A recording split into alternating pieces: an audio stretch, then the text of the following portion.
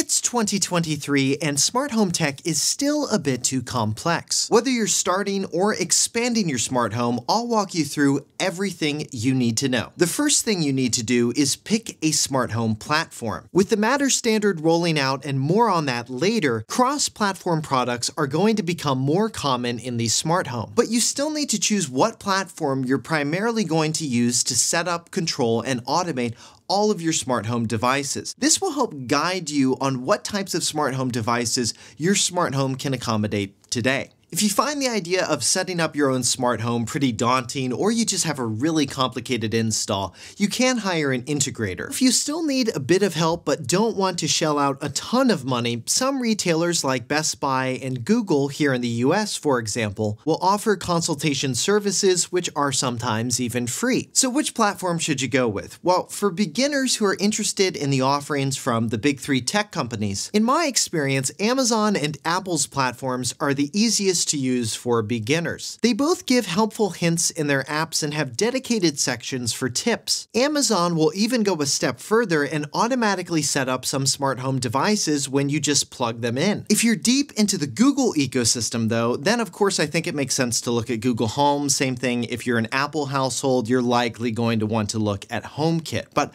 one thing to be cautious of with all of these platforms is lock-in and automations. That's where third-party options options like Homey or Home Assistant can be really useful. Homey is definitely easier to use and get started with, though it does offer a sandbox coding environment, and the new Homey Pro is based on the Raspberry Pi architecture, so there's definitely something there for the more technically advanced. Home Assistant is an awesome open source home automation platform, but I would only recommend it for people who like to tinker and already know what they're doing and have the time to maintain the install when something breaks. So so now that you've picked your platform, you can start buying devices for your smart home. The first device category I'd start with is lighting. You can control a single bulb, turning it on and off from your phone or with your voice, control lights in multiple rooms at once like holiday lights, and even change the color of your lights, creating beautiful lighting scenes to wake up and go to bed to. Now, typically the smart bulbs you see will be full color so they can produce a wide variety of colors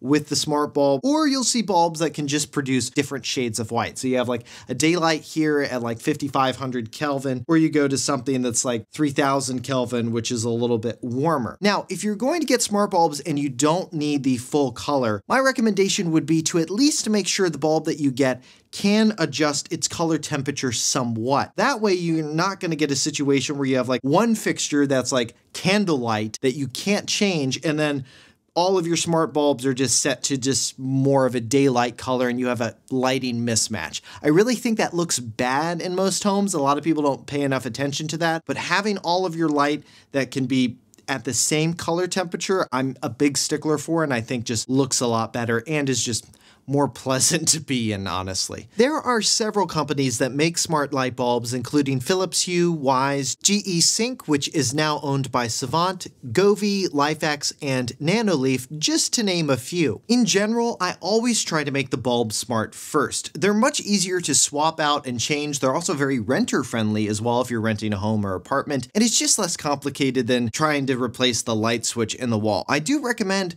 the smart light switches though, but just for fixtures where you can't already make the bulb smart. The next category of device I'd recommend getting is the smart thermostat. I'd still suggest going with the Nest Learning thermostat if you like the idea of not having to set a schedule and just having the thermostat learn your patterns. Or you could go with something like the Ecobee or other smart thermostats that allow you to set a schedule in an app. Next, let's talk about your voice and music. Smart speakers are one of the easiest ways to control things in your smart home with actions like, hey, turn off the lights.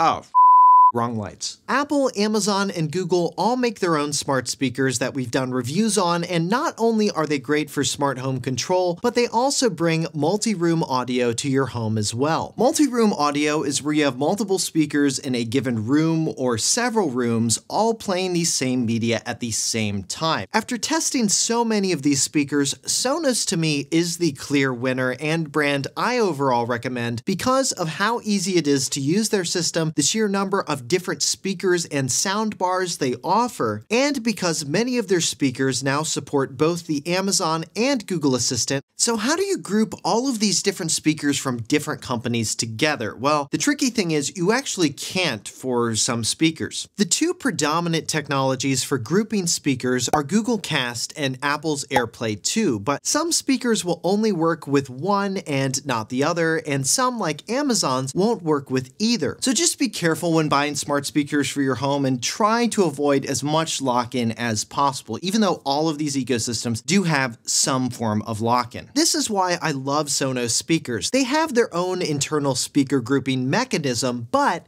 importantly, they also support Apple's AirPlay 2. And even if you don't have an iPhone or an iPad, you can still benefit from AirPlay 2, like a Mac using the Apple Music app to a group of AirPlay speakers, or my personal favorite use for AirPlay, outputting sound from an Apple TV 4K. This way, when I'm in the kitchen or say someone's in the bathroom, you can still hear everything going on from the TV. And yes, this is the perfect feature for a Super Bowl or Oscar watch party. Also, many modern TVs and streaming devices like the Apple TV, Amazon Fire Cube, and Chromecast with Google TV allow you to control content on your TV with smart assistants and even turn off the entire system with your voice. Next up, safety and security. Now Nowadays, many security systems can be integrated into your smart home platform. This includes systems you get from the big home security companies or the more do-it-yourself security systems. The tech included in these systems includes things like cameras, motion sensors, video doorbells, window sensors, alarms, and more. But there's also a second part to security in your home that I think is equally important, things like smoke and carbon monoxide detectors and leak detectors which you can place behind objects like your hot water heater or toilet and get notified as soon as a leak is detected. The last category of devices you can add to your smart home is appliances. Many stoves, ovens, and refrigerators are now equipped with Wi-Fi, allowing you to do things like remotely turn off the oven or even get an alert when your fridge detects you've run out of something. Robotic vacuum cleaners also fit in this category and not only automate the boring task of vacuuming, but a lot of them can learn your floor plan as well. And an extension of this technology is now being applied to robotic mops for hard floors, and yes, there are also robotic lawnmowers coming onto the market now as well. Other appliances you can add to your smart home include air purifiers like the Blueair dust magnet we reviewed, HVAC systems and ones with dehumidifiers, and even smart showers. They have precise temperature control, sauna steam automation, and music speakers embedded in the shower heads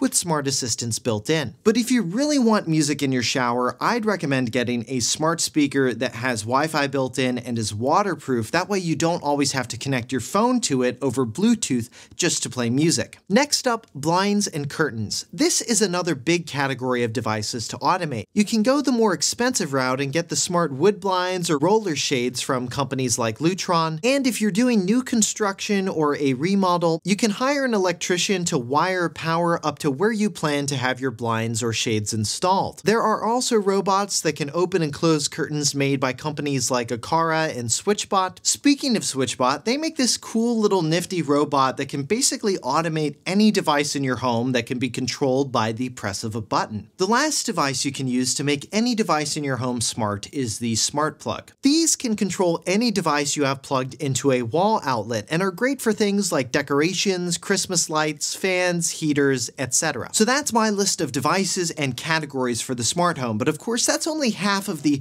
smart home equation. The whole point of connecting all of these devices together is the ability to control and automate them. The big three smart home platforms have pretty basic routine and automation functionality, with HomeKit now even letting you create automations by just using your voice with Siri. Set all lights to turn off at 2 a.m. every night. I've set all the lights to turn off at 2 a.m., starting tomorrow night. If you want to use a platform that has more advanced automation features that can connect to more services, but still be easy to use, that's where I think Homey in particular would be a good option. And we'll be testing out their new Homey Pro device that you can use to run all of your automations locally once they ship out here in the US. Now, in general, there are two main types of automations for the smart home. You have schedule-based automations and trigger-based automations. And here are a few examples of automations I've set up here in in my own smart home. My espresso machine turns on every morning at 8 a.m. My thermostat is set to 73 degrees at 9 a.m. The blinds automatically close at sunset. My lights turn to a sunset color at 11:30 p.m. and then slowly fade out for 45 minutes. And all lights, if they haven't turned off already, are set to turn off at 1 a.m. All of those, except for my lights changing to a sunset color, were set up using the smart home automation platforms from the big three tech companies. For the lights, most of the big platforms aren't advanced enough to do what you can do in the Philips Hue app. Now, the second category of automation you can do within a smart home is trigger based, and there are a few subcategories within this family of automations as well, and the first one is voice commands like saying movie time to your assistant and then your lights dim down and the blinds close. Sensor-based triggers are the second subcategory. For example, when your motion sensor detects no one is home, your lights can be set to automatically turn off. Aqara actually now makes a new millimeter wave sensor that can detect respiratory rates, so it knows when you're still home and it's not going to turn the lights out on you if you're just sitting down reading a book. The last cool trigger you can set up is one based on other smart devices. For example, when you tell tell your smart assistant to turn off the TV, as soon as it does that, your lights will slowly dim up. Now, the last thing to talk about is the new smart home Matter standard. And if you followed my advice from last year's video, you'll remember that I said you should just wait until these Matter devices come onto the market before buying devices for your smart home. Now that it's been a year, that advice turned out to be misguided. The standard took a bit longer than anticipated to be finalized last year, however, now that it has been finalized and is rolling out, my advice this year is to buy the smart home devices you need today, but if you can, make sure they either support Matter or will be updated to Matter at a later date. And for a deeper dive into the Matter smart home standard, how it works, how it changes the smart home, and most importantly, what do you actually need to make it work, check out the explainer I did and you can get to it by clicking the thumbnail here. And for all of the reviews and videos we've done on the products I've mentioned in this video, plus the purchase links for them so you can check their current price, all of that information is in the description below. Hit that thumbs up button if you like this video and most importantly you found it helpful. Thanks so much for watching.